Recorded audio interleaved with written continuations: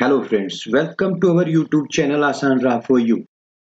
जय माता दी दोस्तों, आज हम बात करेंगे दुर्गा महानवमी 2023 शुभ तिथि। पारण कब होगा, कन्या पूजन मुहूर्त, कलश विसर्जन कब करें, और साथ ही जानेंगे महानवमी के दिन माँ को चढ़ाई जाने वाली एक खास चीज़ के बारे में। इसलिए वीडियो के साथ अंत तक बने रहें। दोस्तों, इस साल चैत्र नवरात्रों का आरंभ 22 मार्च दिन बुधवार से हुआ था। 31 मार्च को चैत्र नवरात्रों का समापन होगा। नवरात्रि में अष्टमी और नवमी तिथि सबसे खास मानी जाती है। अष्टमी को माता महागौरी नवमी के दिन सिद्धि सिद्धिदात्री का पूजन करने के साथ ही कन्या पूजन और हवन भी किया जाता है। नवरात्रि, कन्या पूजन और हवन के बाद ही नवरात्रि पूर्ण माने जाते हैं। तो आइए जानते हैं दो हज़ार तेईस चैत्र नवरात्रि दुर्गा नवमी कब है। नवमी शुभ योग, नवमी कन्या पूजन मुहूर्त, पारण और करस विसर्जन कब करें? आइए बात करते हैं महानवमी कन्या पूजन मुहूर्त के बारे में। दोस्तों, नवरात्रि, दुर्गा नवमी माँ सिद्धिदात्री का पूजन 30 मार्च दिन गुरुवार को किया जाएगा। नवमी तिथि प्रारंभ होगी 29 मार्च रात्रि नौ बजकर सात मिनट पर। नवमी तिथि का समापन 30 मार्च, रात्रि ग्यारह बजकर तीस मिनट पर होगा।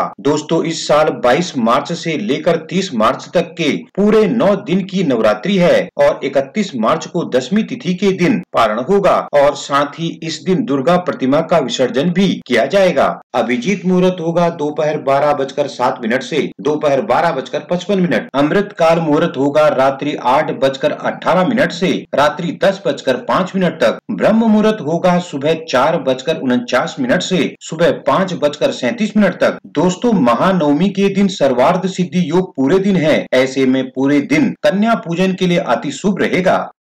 कलश विसर्जन कब करें? दोस्तों, माता रानी की नौ दिनों तक श्रद्धा पूर्वक पूजा अर्चना करने के बाद बारी आती है कलश विसर्जन और देवी विसर्जन की। बहुत से लोगों में ये दुविधा रहती है कि कलश विसर्जन कब करना चाहिए। दोस्तों, शास्त्रों के अनुसार नवरात्रि पूर्ण होने के बाद ही कलश का विसर्जन किया जाता है। यानी कलश और दुर्गा प्रतिमा का विसर्जन दसवीं तिथि को करना चाहिए। हालाँकि लोग अपने जगह की मान्यताओं के अनुसार अष्टमी नवमी के दिन भी कलश विसर्जन करते हैं। अब जानते हैं नवमी पूजन के बारे में। दोस्तों, नौ दिनों की नवरात्रि का पावन पर्व नवमी के दिन पूरा होता है। नवरात्रि के नौ दिनों में आप माँ के नौ रूपों की पूजा अर्चना करते हैं। नवरात्रि के दिन माँ सिद्धिदात्री की पूजा अर्चना की जाती है। माँ सिद्धिदात्री भक्तों की मनोकामनाएँ पूरी करती हैं और उन्हें यश, बल और धन भी प्रदान करती है। दोस्तों, इस दिन प्रातः स्नान कर माँ की विधिवत पूजा कर उन्हें भोग लगाए और कन्या पूजन व हवन आदि करें। नवमी के दिन पूजा में माँ को श्रृंगार का सामान लाल चुनरी और लाल सिंदूर ज़रूर अर्पित करें। माना जाता है कि इससे माँ आपको अखंड सौभाग्य का वरदान देती हैं। जय माता दी।